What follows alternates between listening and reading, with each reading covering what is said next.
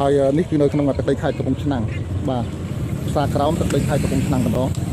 អពាក់ព័ន្ធនឹងការធ្វើចតាលិស័កបាទ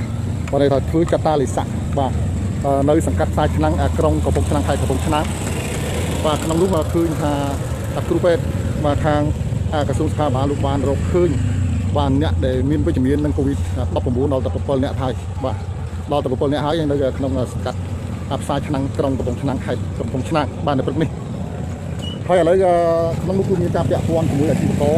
បាទនៅក្នុងផ្សារឆ្នាំងបាទផ្សារក្រោមបាទផ្សារក្រោមមិនដឹងជាប្រមាណទេមានការពាក់ព័ន្ធនោះឥឡូវគ្រូពេទ្យនិងកងកម្លាំងអាជ្ញាធរលោកកំពង់តែបាទហើយបងបងប្អូនជាអាជីវករនៅក្នុងសកាត់ផ្សារឆ្នាំងក្រុមកំពង់ឆ្នាំងដើម្បីឲ្យគាត់មកធ្វើចតាលិស័កដើម្បីពិនិត្យសំណាក់ហើយនោះក្នុងនោះគ្រូពេទ្យស្ម័គ្រចិត្តបាទគ្រូពេទ្យយើងក៏បានពិនិត្យលើសំណាក់បងប្អូន ជីវករនៅក្នុងសកាត់ផ្សារឆ្នាំងក្រុងកំពង់ឆ្នាំងខេត្តកំពង់ឆ្នាំងនេះឃើញថាមានអ្នកដែលពាក់ព័ន្ធនឹងកូវីដវិជ្ជមានមកមានដល់តែ7អ្នកហើយបាទហើយពេលនេះខ្ញុំបានក៏គុំតែមកដល់ដោយសារថាខ្ញុំរវល់បាទមានដល់7អ្នកហើយប្រិមិត្តបាទឥឡូវខាងខាងអាជ្ញាធរលោកកំពុងតែឲ្យបាទអឺបងប្អូនអាជីវករដែលមានការពាក់ព័ន្ធដើម្បីមកពិនិត្យសំណាក់បាទ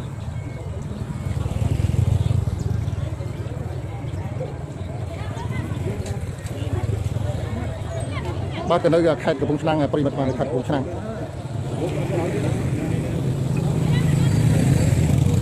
បាននៅខេត្តកំពង់ឆ្នាំងហើយគ្រូពេទ្យបានធ្វើសំណាក់ទៅលើបងប្អូនប្រជាពលរដ្ឋដែលអាជីវករនៅផ្សារក្រោមក្រុងកំពង់ឆ្នាំងខេត្តកំពង់ឆ្នាំងបាទដែលមាននៅក្នុងនោះគឺមានអ្នកដែលពាក់ព័ន្ធជាមួយកូវីដបាទហើយវិជ្ជមានមានដល់ទៅ7នាក់បាទហើយគ្រូពេទ្យកំពុងតែពិនិត្យសំណាក់បន្ថែមទៀតពាក់ព័ន្ធនឹងបញ្ហានេះបាទអញ្ចឹងឃើញថា បងប្អូនជាពលរដ្ឋបាទគឺជាអាជីវករនៅខេត្តកំពង់ឆ្នាំងបាទនៅសាក្រោម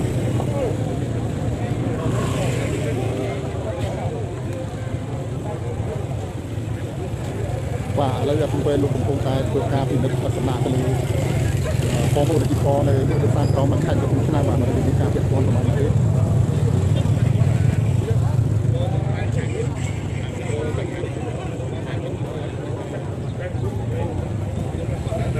បាទសូម ជម្រាបដល់ទស្សនិកជនផងដែរបាទគឺថានៅបាទខែទី8បាទខែកក្កដាឆ្នាំ2021នេះបាទក្រុមគ្រូពេទ្យបាទខេត្តកំពង់ឆ្នាំងហើយលោកបានចុះពិនិត្យនិងធ្វើចាត់តាលិស័កលើសំណាក់បងប្អូនប្រជាពលរដ្ឋជាអាជីវករបាទដែលលក់នៅផ្សារក្រោមឃើញក្នុងនោះគឺថាមានការពាក់ព័ន្ធវិជ្ជមានពាក់ព័ន្ធនឹងកូវីដមាន7នាក់ហើយបាទមាន7នាក់ហើយហើយឥឡូវអាជ្ញាធរលោកកំពុងតែឲ្យបាទអាជ្ញាធរលោកកំពុងតែឲ្យ អាជីវករដែលលក់ដូរនៅផ្សារក្រោមនេះដែលមានការពាក់ព័ន្ធនេះហើយលោកចេញមកដើម្បីពិនិត្យធ្វើសំណាក់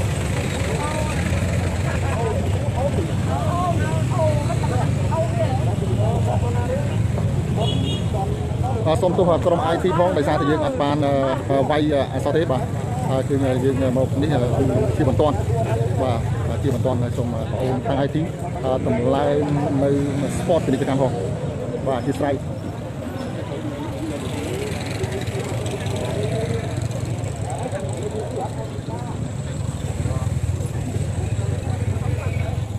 បាទដោយសារថាអាជីវករយើងនៅផ្សារក្រោមនេះឃើញថាគាត់លក់ដូរនេះមានច្រើនបាទអញ្ចឹងដែលមានអ្នកពាក់ព័ន្ធអាចមានច្រើនអញ្ចឹងឯណាក៏លោកកំពុងតែជឿនចូលឲ្យខាងកងកម្លាំងលោកដើម្បីចេញឲ្យខាងអាជីវករតែទៅនៅផ្សារក្រោមនោះលោកមកពិនិត្យធ្វើកតាលិស័កនិងពិនិត្យលើសំណាក់បាទដែលមានការពាក់ព័ន្ធជាមួយនឹងអាជីវករ7នាក់នេះបាទគឺថាមានបាទឥឡូវយើងពិនិត្យមើលឃើញថាមានអ្នកដែលទុកអ្នកដែលកើតកូវីដ19នោះមានដល់7នាក់ហើយ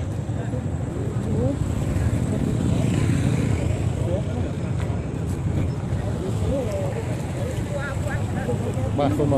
សូមសូមអធិស្ឋានដល់ប្រិយមិត្តផងដែរបាទដែលថាព័ត៌មាននេះយើងចាប់យករូបភាពបាទយ៉ាងស្រុងបាទឃើញថានៅស្ថិតនៅសកាត់ផ្សារឆ្នាំងក្រុងកំពង់ឆ្នាំងខេត្តកំពង់ឆ្នាំងតែម្ដងបាទគឺស្ថិតនៅផ្សារក្រោមបាទពាក់ព័ន្ធនឹងបញ្ហាជំងឺ Covid-19 នេះចឹងទេសូមបងប្អូនបាទអាជីវករក៏ដូចជាបងប្អូនប្រជាពលរដ្ឋទាំងអស់បាទធ្វើយ៉ាងណាមើលតាមមកពិនិត្យសំណាក់និងពិនិត្យបាទទៅលើការធ្វើចតាលិស័កបាទសូមបងប្អូនកុំអាគិតវេះ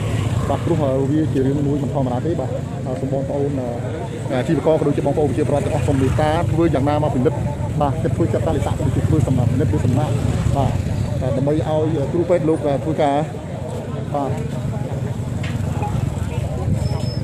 បាទធ្វើការពិនិត្យទៅលើការងារនេះអញ្ចឹងសូមបងបងប្អូននៅទីផងបានមានអាចចូលរួមបាទដើម្បីជួយទប់ស្កាត់និងបង្ការទប់ស្កាត់បាទបីគុំបីការពារដូចប្រមុខរាជរដ្ឋាភិបាលលោកបាន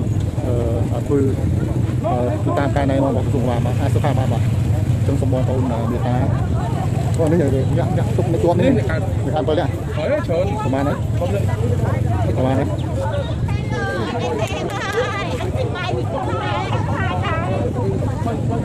ប្រហែលបីណោះអ្នកខែទេបាទតែព្រឹមទាំងអស់ហើយបាទបាទអរគុណឥឡូវឡើងដល់តែ13នេះហើយប្រិមិត្តបាទនេះគឺគាត់អ្នកកើតផ្ទុកនៅកូវីដ19បាទនេះប្រិមិត្តនេះក៏តែ13នាក់បាទនៅអឺ ផ្សារក្រោមនៅទឹកដីក្រុងកំពង់ឆ្នាំងខេត្តកំពង់ឆ្នាំងបាទបាទហើយគឺមាន13នាក់ហើយបាទនៅខេត្តសូមបញ្ជាក់ថានៅខេត្តកំពង់ឆ្នាំងបាទក្រុងកំពង់ឆ្នាំងខេត្តកំពង់ឆ្នាំងបាទនេះគឺអ្នកកើតមានដល់13នាក់ហើយបាទមិននេះយើងបានទូលេខទៅច្បាស់ពីណាតោ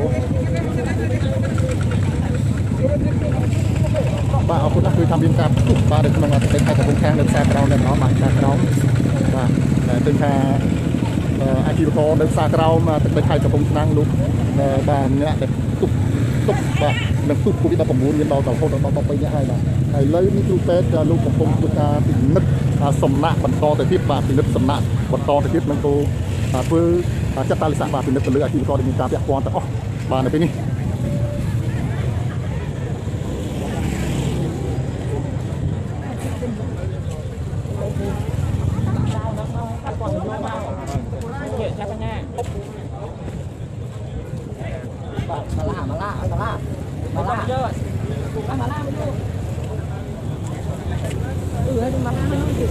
អរគុណដល់ប្រិមិត្តបាទហើយឥឡូវខ្ញុំបាទកំពុងតែស្ថិតនៅក្នុងសង្កាត់ខ្សែឆ្នាំក្រុងកំពង់ឆ្នាំងខេត្តកំពង់ឆ្នាំងគឺនៅផ្សារក្រោមតែម្ដងបាទឃើញថាបងប្អូនអាជីវករនៅផ្សារក្រោមទឹកដីខេត្តកំពង់ឆ្នាំងនេះបាទឥឡូវក្រុមគ្រូពេទ្យបាទនិងអាជ្ញាធរអើយដល់បងខេត្តលោកអភិបាលស្រុកបាទក៏ដូចជាមន្ត្រីបាទកងកម្លាំងបាទលោកកំពុងតែធៀមគោប្រមូលបងប្អូនអាជីវករបាទដែលលោកនៅនៅផ្សារក្រោម បាទដើម្បីមកធ្វើចតាលិខិតនិងពិនិត្យទៅលើសំណាក់របស់បងប្អូនបាទដែលមានកើតវិជ្ជមានជាមួយកូវីដ19ហើយគឺថាមានដល់តែ13នាក់ហើយបាទមានមានដល់ដល់3នាក់ហើយហើយឥឡូវនេះគ្រូពេទ្យយើងកំពុងតែពិនិត្យបន្តទៅទៀតបាទតើមានការពាក់ព័ន្ធទៅជាមួយកូវីដ19ដែលដែលមានការពាក់ព័ន្ធពីដល់3នាក់នេះទៀតហើយមានប្រមាណអ្នកបន្ថែមទៀតបាទអញ្ចឹងខាងក្រុមគ្រូពេទ្យលោកបានកំពុងធ្វើការពិនិត្យ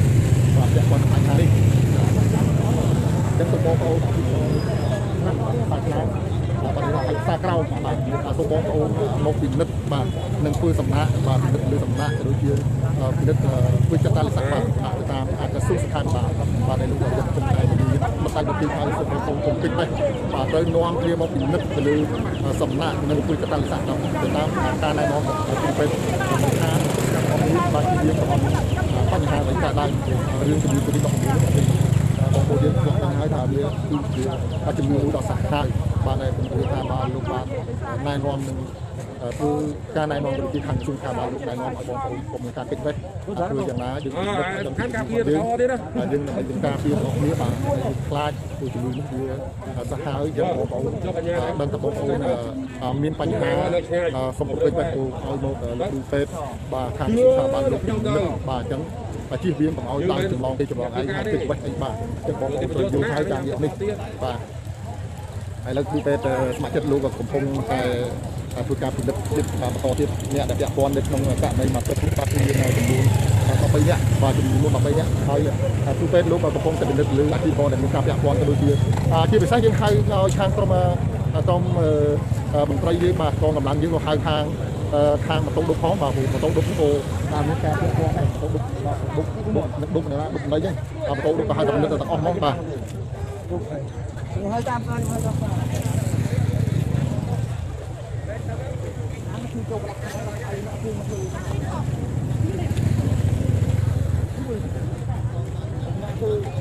បាទលោកសាមមិនធឿនគាត់នៅគេឋានបាទប្រិមិត្តបាទ ខ្ញុំបាទកំពុងតែធ្វើការផ្សាយតបាទចេញពីទឹកដីខេត្តកំពង់ឆ្នាំងបាទនៅព្រឹកថ្ងៃទី8បាទខ្ញុំនៅសូមប្រិមិត្តបាទលោកមេតាជ្រាបផងដែរពាក់ព័ន្ធនឹងជំងឺ Covid-19 នេះហើយអាជ្ញាធរក៏ដូចជាកងកម្លាំងលោកកំពុងតែប្រមូលបងប្អូនប្រជាពលរដ្ឋបាទដែលលក់ដូរនៅផ្សារក្រោមបាទសកាត់សាច់ឆ្នាំក្រុងកំពង់ឆ្នាំងដើម្បីមកពិនិត្យសំណាក់ឬជាធ្វើចតលិខិតដើម្បីពិនិត្យបាទបងប្អូនដែលមានការពាក់ព័ន្ធ COVID-19 ពេលនេះខ្ញុំបានមានដល់ទៅ13នាក់ហើយបាទ ហើយអ្នកដែលពាក់ព័ន្ធទៀតនឹងកំពុងតែធ្វើការពិនិត្យបន្តទៀតបាទនេះគឺក្រុមគ្រូពេទ្យលោកកំពុងតែស្រាវជ្រាវពិនិត្យបាទយ៉ាងយកទៅទុកដាក់បាទស៊ើបអង្កេតយ៉ាងយកទៅដាក់ពាក់ព័ន្ធនឹងអាការបងប្អូនដែលពាក់ព័ន្ធជាមួយអ្នកដែលអ្នកដែលកើត COVID-19 មាន13នាក់នេះបាទអញ្ចឹងខ្ញុំបាទទូលេខពីខាងគ្រូពេទ្យបាទពីខាងគ្រូពេទ្យបាទកំពុងតែធ្វើចតារិស័កពិនិត្យលើសំណាក់នេះបាទតែម្ដ ហើយសូមឲ្យអាជ្ញាធរសូមឲ្យលោកម្ចាស់អឺឲ្យអ្នកម៉ូតូដុបមកម៉ូតូដុបពីខ្សែក្រោមវិញនេះខ្សែឆ្នាំកុំនេះច្រើនណាស់បាទពីព្រោះអ្នកម៉ូតូដុបហ្នឹងក៏មានការពាក់ព័ន្ធក៏ដែរអញ្ចឹងអ្នកម៉ូតូដុបបានមេតាចូលមកពិនិត្យសំណាក់ផងបាទបងបងអ្នកម៉ូតូដុបបាទព្រោះបើជាបងបងអ្នកម៉ូតូដុបដុបហ្នឹងនឹងណាកើតបង្កើតជាមានការពាក់ព័ន្ធទាំងអស់បាទ បាទសូមឲ្យបងបងខាងម៉ូតូដុបមកពិនិត្យសំណាក់ផងបាទហើយដឹងដឹងខ្លួនហើយអ្នកដែលនៅខ្សែក្រោមបងមកពិនិត្យសំណាក់ផងបាទព្រោះឥឡូវនេះនៅក្នុងអាជីវករដែលលក់ដូរនៅខ្សែក្រោមនេះពិនិត្យមិននេះគឺថាមិនប្រឹកនេះគឺថាមានពាក់ព័ន្ធកើតហើយជំងឺ Covid រហូតដល់ទៅ13នាក់បាទហើយចុះអ្នកដែលពាក់ព័ន្ធផ្សេងទៀតបាទមិនដឹងជាមានប្រមាណទៀតអញ្ចឹងអាជ្ញាធរនៅកម្លាំងយើងលោកបានកំពុងតែគៀងគោបាទបងប្អូនជាប្រវត្តិមកដើម្បីកុំឲ្យគិតបេះបាទមកពិនិត្យសំណាក់ នឹងធ្វើចាត់តាលិស័កបានត្រឹមត្រូវជាជាកុំឲ្យឆ្លងដល់គេដែលគេមិនមានកើតចឹងគេសូមបងប្អូនគិតបេះធ្វើយ៉ាងណាអឺមកធ្វើសំណាក់បាទតែខ្ញុំពេលនោះកំពុងតែបាត់ព្រឹកទៅតែគាត់ទីហើយសម្រាប់បាយតែទឹកហើយខ្ញុំសូមបងប្អូនបងប្អូនយើងមកគុំធ្វើការគិតបេះមិនមកទៅធ្វើលើសម្រាប់ធ្វើចាត់តាលិស័កលើសម្រាប់គឺយើងដឹងថាខ្លួនយើងកើតមិនកើត បាទហើយបងប្អូនមានការគិតនេះបងប្អូនដឹងថាខ្លួនយើងកើតមិនកើតចិត្តចរិតចេតកើតចឹងទៅខ្លាចយ៉ាងម៉េចហើយចឹងថ្ងៃក្រោយបើយើងកើតទៅយើងមិនមានការប៉ះពាល់ឆ្លងដល់អាយុជីវិតហើយប៉ះពាល់ដល់បងប្អូនក្រុមគ្រួសារកូនចៅអាក៏ដូចជាអ្នកពុកផងបងជាមួយដែលគេមិនដឹងអីយើងកើតហើយយើងចេះមានការគិតវេះគេហៅមកពីសំណាក់មកអាហ្នឹងវាអត់ល្អទេបាទសូមឲ្យការពារដល់គ្នាចេះជួយការពារថែរក្សាដូចប្រមុខរាជថាបានលោកបានលើកឡើងថា3កុំ3ការពារបាទ ទៅតាមក្រសួងស្ថាប័នអញ្ចឹងយើងធ្វើអ្វីក៏ដោយយើងពិនិត្យទៅវិញគឺថាអប់រំទៅតាមក្រសួងស្ថាប័នដែលលោកបានអប់រំឲ្យយើងជួយដើម្បីខ្លះបាទអញ្ចឹងយើងក៏ពេញបេះយើងត្រូវទៅពិនិត្យសំណាក់ទៅជួយចាត់តាលិស័កចាក់ឆ្នាំបាក់សាំងការពារទាំងអស់គ្នាព្រោះយើងការពារទាំងអស់គ្នាទៅវាក៏គ្មានអ្វីកើតឡើងការពារបងប្អូនគិតថាទៅទៅទៅការខ្លាចទីទៅគឺចេញចុះទៅឆ្លងដល់អ្នកបតីទៀតបាទបតីទៀតតែគាត់មិនបានឆ្លងអីជាមួយយើងផងមិនបានកើតផងគាត់នឹងខ្លួនយើងឆ្លងដល់យើងអត់បានពិនិត្យយើងអត់បានទៅ ចាក់បាក់តាំងយើងអត់បានទៅពិនិត្យសម្រាប់អាចឆ្លងដល់បងប្អូនតែទីកើតបាទអញ្ចឹងសូមឲ្យបងប្អូនមកការការយកចិត្តទុកដាក់ក្រុមប្រចាំមកពិនិត្យមកបាទតើតើយើងកើតមែនអត់ហើយយើងនឹងវាឆ្លងមែនអត់ទៅបាទហើយគណៈបងប្អូនវលកិច្ចបេះហ្នឹងវាវាវាអត់កើតទេបងប្អូនអត់មានចេះជួយការពីគ្នាអញ្ចឹងវាពិបាកណាស់បាទបាទនេះគឺអ្នកកើតទូចប់9បាទមាន13នាក់បាទមាន13នាក់ហើយប្រិមិត្ត បាទបាទហើយឥឡូវគ្រូពេទ្យលោកកំពុងតែមានការធ្វើការពិនិត្យបន្ថែមទៀតបាទចំពោះដែលអ្នកកើតនឹងវាមាន13នាក់ក្នុងមួយព្រឹកនេះហើយអ្នកដែលពាក់ព័ន្ធនៅក្នុងនៅក្នុងសាក្រោម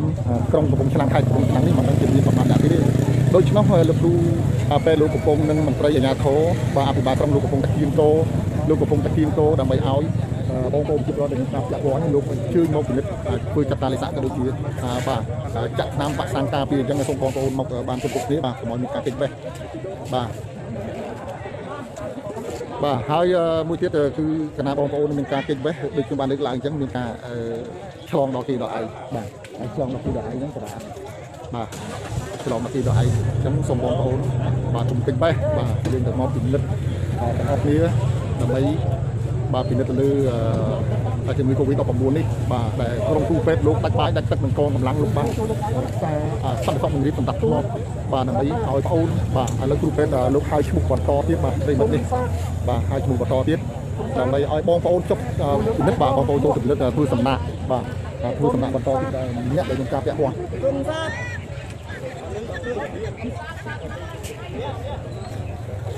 Đây em chôn Em chôn Lên bộ đây Lên nào ba បាទលោកគ្រូពេទ្យលោកកំពុងតែហៅឈ្មោះបន្តទៀតហើយដើម្បីឲ្យបងប្អូនដែលមានការពាក់ព័ន្ធនៅក្នុងសង្កាត់តាមក្រុម Nó là ba នេះ បាទសូមលោកមកពិនិត្យពីព្រោះមកផ្សារនេះគឺតែពិនិត្យមិញមានវិជ្ជមានកូវីដ19មានរហូតដល់13នេះហើយបាទ13នេះហើយហើយឥឡូវកំពុងតែធ្វើការពិនិត្យបន្តទៀតបាទពិនិត្យសំណាក់បន្តទៀតបាទបងប្អូនអាជីវករលោកដែលទិញដូរលក់ដូរនៅជិតគ្នាមានការឆ្លងជាបន្តបន្ទាប់អញ្ចឹងទូពេលត្រូវពិនិត្យបន្តទៀតបាទពាក់ព័ន្ធបញ្ហានេះទៅមុខហ្នឹងគឺដាក់ដាក់ឡើងបាទឯងរាប់មួយរាប់ដល់13ទៅដល់13ទៅឯងរា ប់មួយរាប់13ទៅ13ទៅគឺកណ្ដាលស័កតទៀតបាទពីរឿងនេះបាទពីខ្លួនថានៅក្នុងទឹកដីខេត្តកំពង់ឆ្នាំងបាទគឺ ជាការទុកបាទបាទអញ្ចឹងខ្ញុំបាទសូមជម្រាបដល់ប្រិយមិត្តបាទតាមប៉ុណ្ណេះបាទការចាក់ធ្វើកណ្ដាលស័កនៅទឹកនេះបាទនៅផ្សារក្រោមនេះណាឃើញថាមានតែអ្នកកើតទុកគូវិ19មានជារហូតដល់13នាក់ហើយបាទ13នាក់ហើយអញ្ចឹងអ្នកដែលមានការពាក់ព័ន្ធទៀតមិនដឹងជាមានប្រមាណទៀតយើងអត់ទាន់ដឹងណាបាទនេះគឺស្ថិតនៅក្នុងផ្សារក្រោមក្រុងកំពង់ឆ្នាំងខេត្តកំពង់ឆ្នាំងបាទខេត្តកំពង់ឆ្នាំងទៅ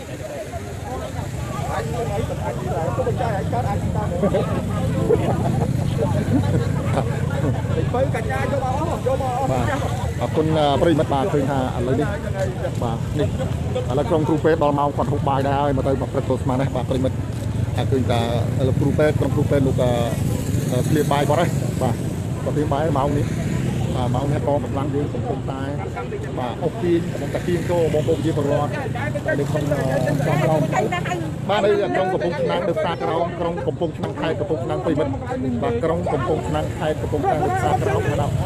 ផ្សារក្រោមទៅស្គាល់មករាប់ដល់អរលោកពីទេផ្សារក្រោមបាទនឹងទល់មុខបាត់ពីទេបាទផ្សារក្រោមតែម្ដងបាទបាទផ្សារក្រោមតែម្ដងប្រិមិត្តបាទនេះផ្សារក្រោមប្រិមិត្តចង់ឃើញផ្សារក្រោមបាទខ្ញុំឲ្យឃើញបាទនេះគឺផ្សារក្រោម បាទហើយបងប្អូនអាជីវករលោកលោកដូរនៅផ្សារក្រោមហ្នឹងប្រហែលជាមានការពាក់ព័ន្ធច្រើនបែបហ្នឹងតែថ្ងៃនេះអាក្រុមគ្រូពេទ្យបានជួយសំណាក់ពីមុខទៅលើអាជីវករនៅផ្សារក្រោមគឺថាមានជាប់ពាក់ព័ន្ធបាននៅកូវីដ19នេះចំនួន13នាក់បាទ13នាក់បាទគឺថាមានចំនួន13នាក់ដូច្នោះហើយបាទបានជាកងកម្លាំងរដ្ឋាភិបាលលោកបាទលោកពិមិត្តបាទនេះគឺផ្សារក្រោមប្រិមិត្តនេះផ្សារក្រោម បាទពីប្រិមិត្តផ្សារក្រោមនៅចុះទៅមាត់ទន្លេនោះគឺទល់មុខភ្នំនាងកងរៃតែម្ដងបាទបាទភ្នំនាងកងរៃបាទនេះគេហៅផ្សារក្រោមបាទឆោមឆើតបាទទឹកដីខេត្តកំពង់ឆ្នាំងបាទហើយអាជីវករនៅក្នុងខេត្តនៅនៅផ្សារក្រោមខេត្តកំពង់ឆ្នាំងនេះគឺថាអាជីវករផ្សារក្រោមនេះតែម្ដងបាទមានការពាក់ព័ន្ធនឹងការឆ្លងបាទទុកមេកូវីដ19 ដែលមានចំនួន13នាក់បាទក្នុងពីទឹកមកបាទឃើញថាលោកគ្រូពេទ្យបានធ្វើសំណាក់បាទធ្វើសំណាក់ពិនិត្យ ហើយទៅលើអាជីវករនៅផ្សារក្រោមនេះគឺថាមានការពាក់ព័ន្ធរហូតដល់13នាក់បាទហើយក្នុងនោះមានការពាក់ព័ន្ធនឹងជាប្រមាណឥឡូវក្រុមគ្រូពេទ្យលោកកំពុងធ្វើការពិនិត្យបាទពិនិត្យបន្ថែមទៀតបាទអឺជាមួយនឹងបាទជាមួយនឹងអាជីវករបាទដែលមានការពាក់ព័ន្ធទាំងក្រុមគ្រូពេទ្យលោកពិនិត្យបន្ថែមទៀតបាទបន្ថែមប្រហែលជាដល់ម៉ោងគាត់ខ្វះហើយព្រមបាទម៉ោងនេះបាត់4បាយមកទឹកទៅស្មានបាទអញ្ចឹងអាជីវករលោកមកពិនិត្យបន្តបន្តទៀតបាទដែលមានការពាក់ព័ន្ធ បាទនឹងធ្វើសំណាក់ហ្នឹងគឺមកពិនិត្យបន្តទៀត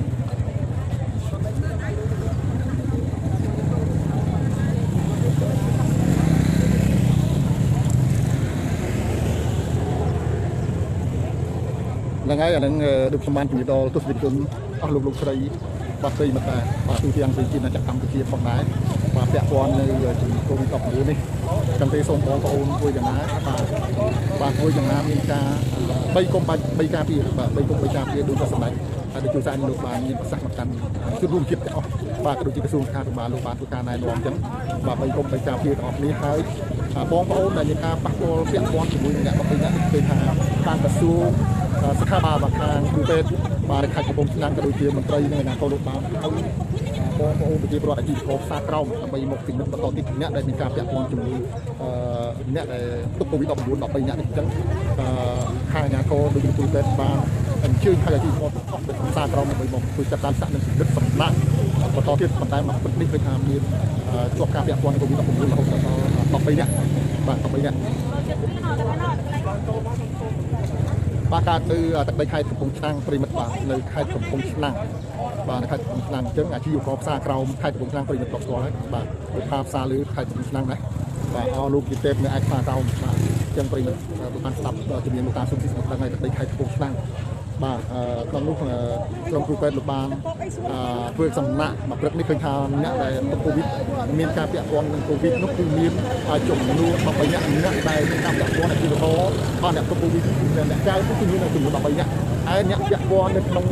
អាជីវករនៅក្នុងផ្សារក្រោមនេះបាទគឺកត្តាពាក្យកត្តាប្រមាណតែខាងក្រោមគឺមានច្រើនដែរបាទបាទអញ្ចឹងអ្នកដែលពាក់ព័ន្ធមិនដឹងពីអ្នកណាខ្លះអញ្ចឹងអ្នកគ្រូពេទ្យនិងអ្នកគ្រូកំពុងតែគៀងគោបងប្អូនជាប្រវត្តិបាទដើម្បីមកអឺធ្វើសំណាក់បាទធ្វើសំណាក់បាទដើម្បីធ្វើសំណាក់អឺ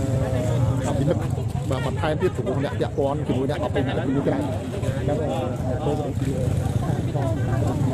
អឺគ្រូពេទ្យបាទគាត់បានបញ្ចាក់មីក្រូហើយសូមឲ្យបងប្អូនមក អឺដើម្បីពិនិត្យសំណាក់បន្តទៀតព្រោះបងប្អូនដែលមានការពាក់ព័ន្ធជាមួយមនុស្ស13អ្នកគឺមានច្រើនតទៅទៀតបាទតែមានប្រមាណនេះវាមិនដឹងទេណាគាត់ថាលោកគ្រូពេទ្យថ្មីជំនាញជាប់ពាក់ព័ន្ធតទៅទៀតអញ្ចឹងគាត់កំពុងតែពិនិត្យលើសំណាក់នេះហើយបាទគាត់ពិនិត្យសំណាក់នេះហើយអញ្ចឹងក៏បងប្អូនមេតាមកមកពីមិនទាន់បាទកុំឲ្យយឺតយ៉ាវហើយកុំឲ្យពេញបេះបាទតាមការណែនាំរបស់ក្រសួងស្ថាប័នបាទការពិនិត្យសំណាក់នេះគឺវាជាការមួយដ៏ល្អបំផុត ចាំបាច់បំផុតបាទសម្រាប់អាយុជីវិតយើងកាលណាយើងពិនិត្យទៅគ្រូពេទ្យពិនិត្យទៅសំណាក់យើងមិនមានកើតមិនមានទុកទេអាហ្នឹងយើងទៅរួចខ្លួនយើងល្អទៅយើងការពារទៅហើយបើយើងកើតយើងមានការទុកអីទៅអាគ្រូពេទ្យនឹងធ្វើការព្យាបាលអីចឹងទៅចាក់ថ្នាំការពារអីការព្យាបាលអីចឹងទៅបាទអញ្ចឹងប្រិមិត្តបាទបើសិនជាបងប្អូនប្រិមិត្តគិតវេះក៏អត់កើតដែរអញ្ចឹងយើងត្រូវធ្វើយ៉ាងណាយើងមកពិនិត្យសំណាក់ទាំងអស់គ្នាបាទបាទកុំគិតវេះដែលអ្នកដែលមានការពាក់ព័ន្ធហើយបងប្អូនគិតតែពីរត់គិតតែពីគិត អាហ្នឹងពិបាកហើយបាទកាលណាបើគ្រូពេទ្យយើងខាងក្រសួងខាងបានលោកពិនិត្យទៅថាយើងមានមិនមានគឺអត់មានហើយតែមានយើងទៅព្យាបាលបាទយើងទៅព្យាបាលទៅបាទយើងទុកយើងកើតយើងទៅព្យាបាលទៅវាលះជាទៅបាទហើយចុះបើបងប្អូនគិតវេះអាហ្នឹងមិនកើតអញ្ចឹងវាមិនពិបាកបាទប្រិមិត្ត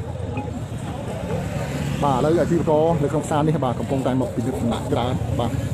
មកព្រឹកនេះឲ្យចិញ្ចូលចិញ្ចូលបាទគឺច្រើនតែបងបាទគឺមេខ្ញុំទៅចូលគេនោះ បាទយើងគ្រាន់តែកាន់តែសង្ស័យឡើយខាន់ទៅកើតហើយហើយឥឡូវនេះគាត់លើការសង្ស័យបាទនេះគឺជាការសង្ស័យនេះមានការពាក់ព័ន្ធហើយអ្នកនៅក្នុងនោះដូចខ្ញុំប្រាប់ប្រិមិត្តបាទអ្នកនៅក្នុងខ្សែលីងនេះបាទគឺគាត់ទុកមានទុកកូវីដ19 មានចំនួន13នាក់បាទទៅខាង14នេះអូឡើងមួយទៀតបាទដល់14នាក់ហើយប្រិមិត្តដល់14នាក់ហើយបាទមួយទៀតហើយដល់14នាក់បាទដល់ទៅ14នាក់ហើយអញ្ចឹងបាទ14នាក់ហើយហើយឥឡូវនេះ បាទក្រុមអាជីវករនេះដែលមានការពាក់ព័ន្ធក៏គាត់ជាសង្ស័យលោកកំពុងតែមកធ្វើការឈររងចាំគ្រូពេទ្យពិនិត្យលើសំណាក់បាទបន្តទៀតបាទពិនិត្យលើសំណាក់បន្តទៀតបាទនៅខេត្តកំពង់ឆ្នាំងបាទនៅខេត្តកំពង់ឆ្នាំងតែម្ដងបាទនៅផ្សារក្រោមទឹកដីខេត្តកំពង់ឆ្នាំងបាទខេត្តកំពង់ឆ្នាំងឥឡូវកំពុងតែពិនិត្យលើសំណាក់បន្តបន្តទៀតបាទហើយយើងសង្ឃឹមថាបងប្អូនជាពលរដ្ឋលោកមិនគិតបេះទេលោកមកពិនិត្យបាទទៅធ្វើតាមទៅតាមការណែនាំរបស់ក្រសួងស្ថាប័ន បាទជិះរៀនកុំឲ្យមានបញ្ហាអីទៀតបន្តទៀតបាទបាទហើយយើងសង្ឃឹមថាបងប្អូននឹងពេញបេះបាទឥឡូវចាំមើលគេពិនិត្យបន្ថែមទៀតបាទនេះបាទនៅខេត្តតាំងនៅព្រៃបាទបាទ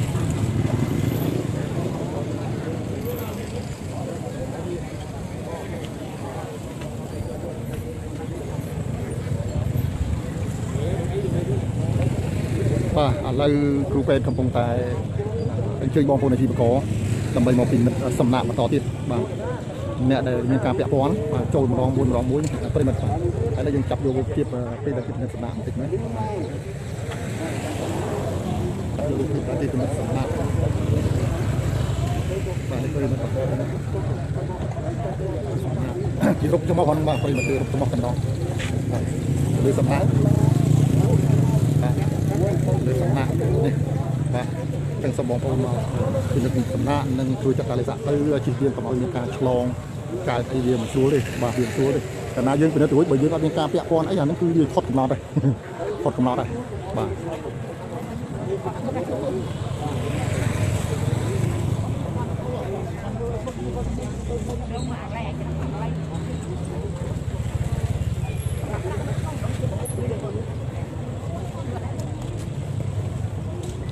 បាទប្រិមិត្តសូមបញ្ជាក់ម្ដងទៀតផងដែរបាទ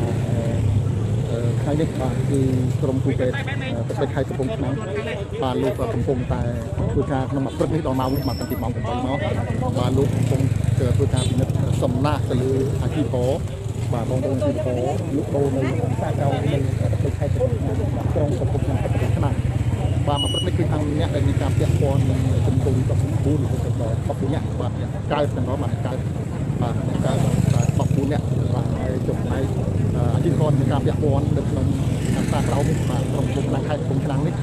អឺมันមិនមានការពាក់ព័ន្ធប្រហែលទេហើយនេះខាងក្រុមគ្រូពេទ្យក៏ដូចជាអាជ្ញាធរនិងកងកម្លាំងសមត្ថកិច្ចយើងលោកកំពុងតែដុតដៃដុតជើងដើម្បីបំផាយប្រមូលទៀងតោបងប្អូនអាជីវករបាទដែលចូលសាក្រៅនេះយកមកការធ្វើការពិនិត្យឬក៏ការចាត់ទុកគឺចំណាក់បងប្អូនចូលទៅមានការពាក់ព័ន្ធចឹងអាជ្ញាធរដូចជាសមត្ថកិច្ចនៅគ្រូពេទ្យបានប្រកាសចោលសោកពេញមិញសូមឲ្យបងប្អូនតែមានការពាក់ព័ន្ធជាមួយ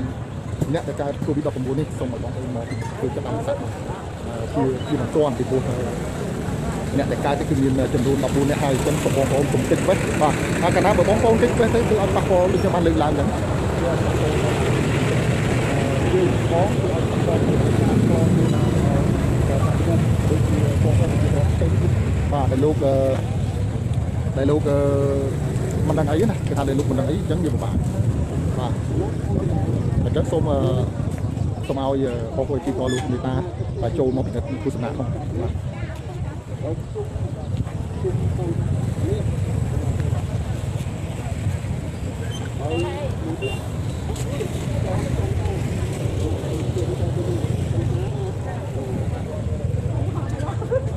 អានេះយើងថៅថា3ការពារ3កុំទាំងអស់គ្នាបាទដើម្បីថែរក្សានៅអាយុជីវិតឬសុខភាពយើងបាទអញ្ចឹងសូមបងប្អូនជួយវាបំពេញវិញជួយមកជួយមកចំការជួយទៅការយើងមានមកទៀតដូចជាបងកម្លាំងបាទហើយផងខាងខាងបងក្រុមជួយពេទ្យលោកបានអភិលីខាងជួយទៀតសូមឲ្យបងប្អូនមកជាគាត់បាទសូមតិចពេះធ្វើយ៉ាងណាយើងមកធ្វើបាទសំណាក់ពិនិត្យទៅ កាលយើងពិនិត្យទៅឃើញថាវាមិនមានការពាក់ព័ន្ធទៅដូចមានមិនមានការកើតវាល្អបាទយើងមានការពាក់ព័ន្ធហើយចឹងបើបងប្អូនគិតវិញអត់ដឹងថាខ្លួនយើងមិនទាន់បានពិនិត្យមិនទាន់បានធ្វើចិត្តអាលិស័កមិនទាន់បានចាក់ឆ្នាំហើយក៏មិនទាន់បានអត់ធ្វើសំណាក់ផងបងប្អូនអត់ដឹងថាក្នុងខ្លួនយើងកើតអីបាទក្រោយមកទៀតបងប្អូនដឹងខ្លួនថាកើតពីហួសពេលបាទពីហួសពេលអញ្ចឹងសូមឲ្យបងប្អូនមានការប្រុងប្រយ័ត្នការប្រយ័ត្នផង បីកុំបីការពារទាំងអស់គ្នាបាទនេះគឺជាអាយុជីវិតកណៃបើយើងការពារបានទាំងអស់គ្នាទូទាំងប្រជាជនកម្ពុជាទូទាំងពិភពលោកបាទហើយយើងក៏មិនមានការប៉ះពាល់នឹងជំងឺ COVID-19 ដែរបាទចាបងប្អូនអឺថារក្សាថែរក្សាសុខភាពនិតបាទចៃទៅលើសុខភាពយើងមានការការការការពារទៅតាមក្រសួងការបានបានណែនាំទៅជាទៅតាមអនុសាសន៍ខ្សែដូចបងមានប្រហែល3កុំ3ការពារបាទ បាទបងប្អូនការចិត្តការពាររបស់យើង